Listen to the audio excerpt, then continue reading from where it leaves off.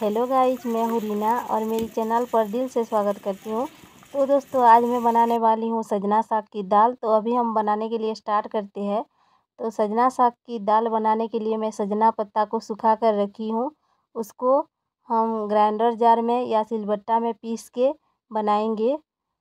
और सजना साग में बहुत सारा विटामिन होता है और उसको हमारा उड़ीसा में कहते हैं मुनगा गुणा। तो अभी हम उसको बनाने के लिए स्टार्ट करते हैं।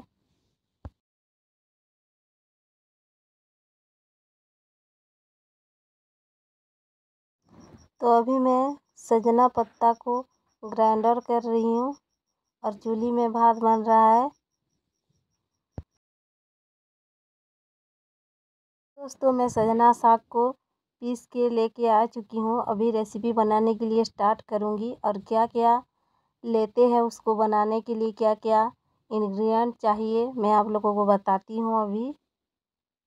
के लिए मैं क्या क्या लिया हूँ? सजना का पत्ता, दो हरी मिर्च चार बड़ा साइज़ का टमाटर, बैगन, धनिया, जीरा, हल्दी, मिर्च पाउडर, लहसुन, प्याज। तो पहला काम है चूल्ही पर कढ़ाई को गरम करना। गरम होने के बाद हम उसमें डालेंगे तेल। आपके पास जो तेल होगी होगी, आप उसी तेल को डालिए। तो मेरे पास रिफाइन का तेल है तो मैं रिफाइन का तेल डाल रही हूँ। रिफाइन तेल गरम हो गई अभी मैं दो हरी मिर्च डाल रही हूँ। हरी मिर्च थोड़ा थोड़ा फ्राई होने के बाद हम उसमें डालेंगे प्याज। तो मैं एक बड़ा साइज़ का प्याज लिया हूँ। तो अभी मैं प्याज को डाल रही हूँ। प्याज थोड़ा सा लाल होने तक भूनना है। और लाल हो जाएगा तो हम उसमें डालेंगे लहसुन।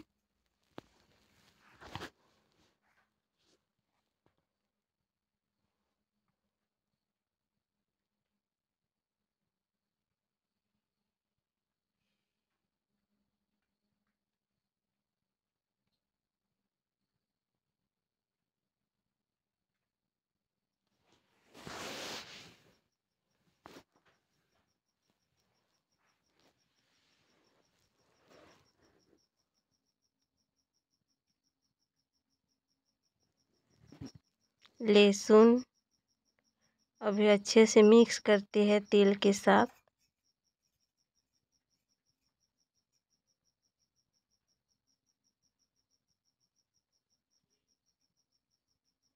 एक बैगन लिया हूँ, उसमें डालने के लिए तो मैं बैगन को डाल चुकी हूँ।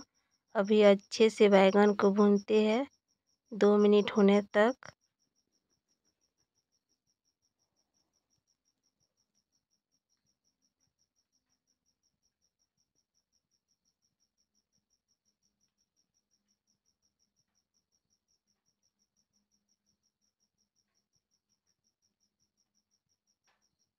टमाटर, चार बड़ा साइज़ का टमाटर लिया हूँ उसमें डालने के लिए। और इस सब्ज़ी में टमाटर जितना ज़्यादा डालेंगे, उतना ही स्वादिष्ट बनता है और खाने के लिए बहुत ही स्वादिष्ट होता है। आप लोग भी ज़रूर ट्राई कीजिए बनाने के लिए और खाइए। और मैं सच बोल रही हूँ या झूठ बोल रही हूँ तो आपको खाएँगे तो पता चलेगा ना, मेरी बनाने से थोड़ी ना पता चलेगा। आप लोग खाएँगे बना के तो पता चलेगा।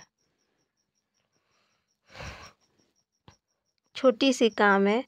मुनगा साग को तोड़ के ले आना और सुखा के रखना उसको।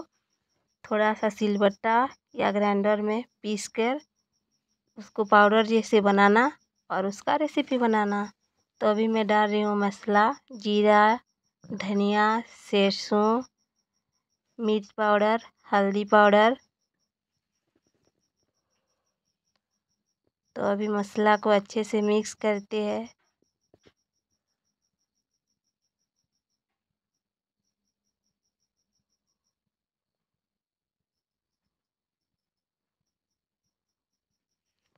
आधा कुक हो चुका है। बैगन और टमाटर।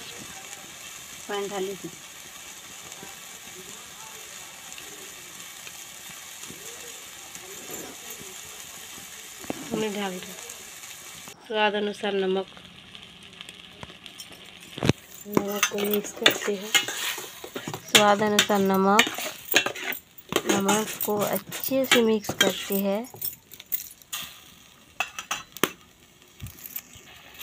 दो कप जैसे पानी डालेंगे। तो अभी मैं दो कप जैसे पानी डाल रही हूँ। मैं पाँच जन के लिए बना रही हूँ। मुनगा का दाल। और आप लोग जितना जन के लिए बनाएँगे उतना ही पानी डालेंगे। ज़्यादा पतला नहीं बनाना है या ज़्यादा मोटा नहीं बना है मीडियम साइज़ का बनाना है। तो अभी मैं डाल रही हूँ सजना का पत्ता को। अभी उसको अच्छे से मिक्स करना है। तो अभी मैं इसको मिक्स कर रही हूँ अच्छे से।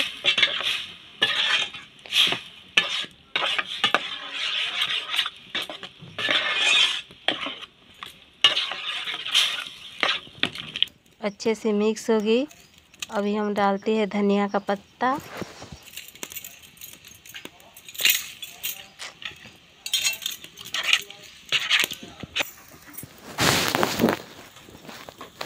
पाँच मिनट होने के बाद हम उसको चूल्ही से निकालेंगे और वो बन के रेडी हो जाएगा।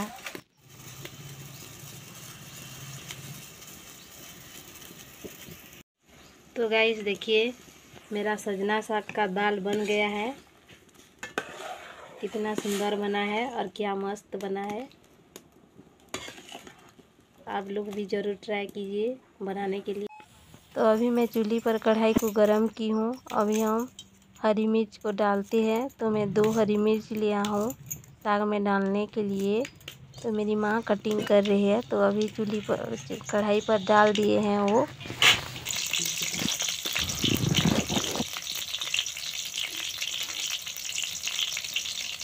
मिर्ची थोड़ा फ्राई होने के बाद हम उसमें डालेंगे सरसों का साग।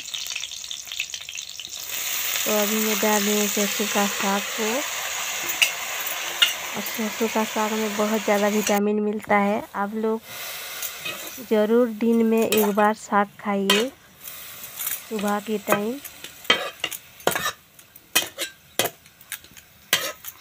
शरीर स्वस्थ रखने के लिए दिन में एक बार साग खाना ज़रूरी है। आप लोग जितना भी मांस, मछली सब्ज़ी उब्जी जो भी खाते हैं, फिर भी एक दिन में एक बार साग ज़रूर खाइए। देख। रात में नहीं खाना सुबह के टाइम खाना। तो स्वाद अनुसार नमक तो टमाटर भी दे चुकी हूँ।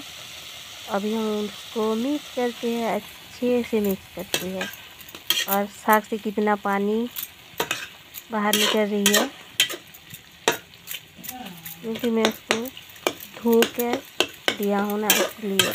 ज़्यादा पानी पानी में था तो मैं पानी से तो डाली हूँ कढ़ाई पर तो इसीलिए उतना ज़्यादा पानी हो गया है।